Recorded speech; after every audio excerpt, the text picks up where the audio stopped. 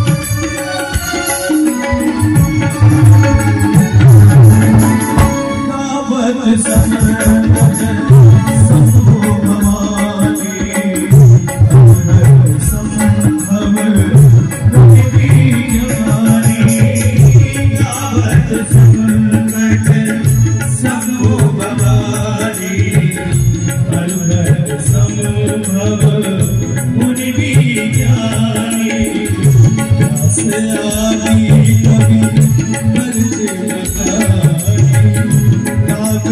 Shyam